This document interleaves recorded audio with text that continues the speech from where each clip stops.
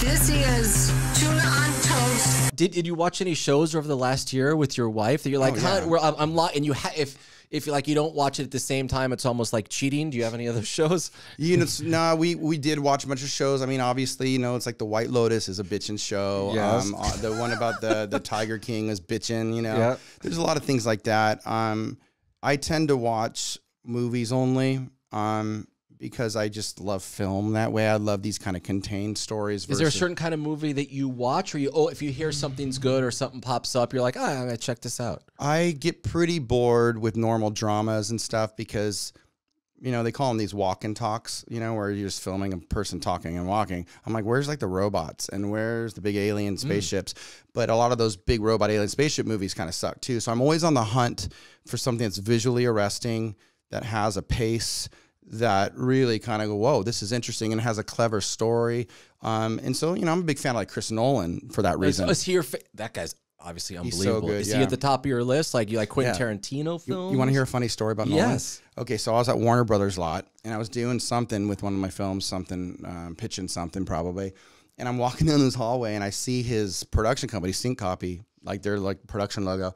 I was like, oh fuck, it's like Nolan's company. I'm like, all right, so I walk in there, and there's like this one intern chick sitting there, and this is funny. I walk up them all.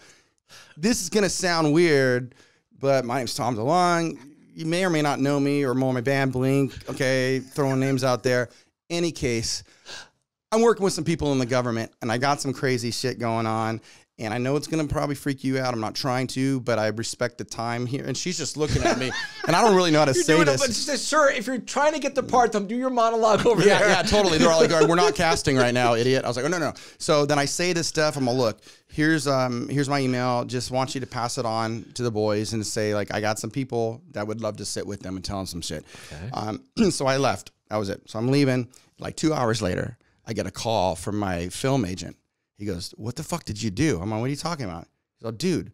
You you went into Nolan's office and they had to grab you and escort you off the lot. That that was the rumor. No. I swear to God. And I was like, no, I left it on my own fucking will. You know, I didn't know I didn't get in trouble. But that was this whole thing.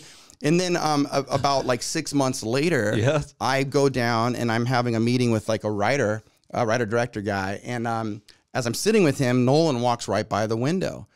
And I go, holy shit. I'll be right back. And because in my motorcycle, same one, Yes. I had all these pamphlets that we made. We did a really big briefing at CIA. Like I wasn't even able to go. I mean, I run the company, but I don't have the security clearances for that. Okay. So my guys went, uh, just whatever. So the pamphlet kind of really talked about our company and all the things we're doing, and they were made specifically for the the briefing at the agency. And um, but I had some of those pamphlets with me, so I I ran out and I said, "Hey, I stopped by your office one day. It's crazy. Take this. You whatever. went right up to him now. You're face Yeah, to yeah. face. I'll fucking kiss him. I don't care. Like he's rad, you know. Yes. Um, but um, I didn't kiss him, but I gave him the pamphlet. Uh, I didn't hear anything back. He must be just tripping. He's like, "This, what the fuck is this guy? Who is this guy? Who?" So he looks up Blink, and it's like we're naked, our dicks are out. Who Right. knows what he thinks? He's Yes. like, "This guy." What's my age again video, rock Rock show, yeah. Go look my band up. Wait, wait. Do not look my band up. Hope you enjoyed. Now hit that subscribe button. And for more Tuna on Toast, listen wherever you get your podcasts.